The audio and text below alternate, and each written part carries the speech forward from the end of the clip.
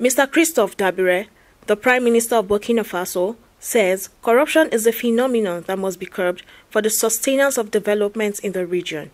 Dabire said this when the ECOWAS delegation on Joint Committee on Political Affairs, Peace, Security and APRM, Gender, Women Empowerment, Social Protection, Legal and Judicial Affairs visited him in Ouagadougou. He said that corruption and terrorism has caused major setbacks for the region, stating that all necessary contributions from the committee would be needed to fight this menace. The Prime Minister, however, appreciated the solidarity shown by the delegation, stating that Burkina Faso was ready to collaborate with ECOWAS to fulfill its mandate. Moustapha Cisse-Lo, the Speaker of ECOWAS Parliament, said that the ECOWAS delegation is a visit to show their solidarity, to condemn various attacks, and condole with those who lost their lives to terrorism attacks.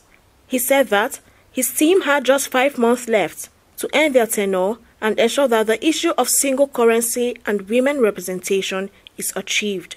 We are about five months of the end of our mandate as members of parliament. We have to prepare the coming legislature and handle the pre-established program and that is what we told the president of Burkina Faso and the National Assembly and today the Prime Minister. We appreciate a lot the way the Burkina Faso authorities welcomed us and we also and we have also to show our solidarity after the unpleasant events that happened in this country.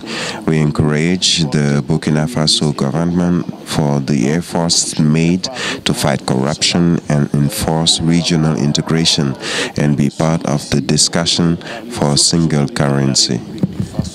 Sani Aliyu, who represented Kano State in Nigeria's House of Representatives, said he was satisfied with the assurance of support given by the leadership of Burkina Faso. Of the Burkina Faso government, we were well received there and he assured us that he is going to give all his support uh, to see that this uh, uh, implementation of the protocols of this uh, fight against corruption is, uh, is, in, is put in place.